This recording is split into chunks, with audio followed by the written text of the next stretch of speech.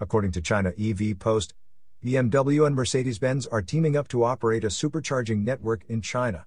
They aim to build at least 1,000 supercharging stations by the end of 2026. The first stations will open in 2024 in key new energy vehicle cities.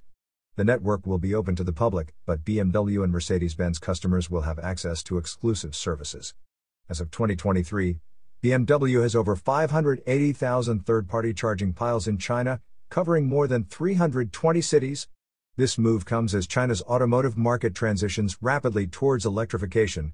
You are listening to UON News.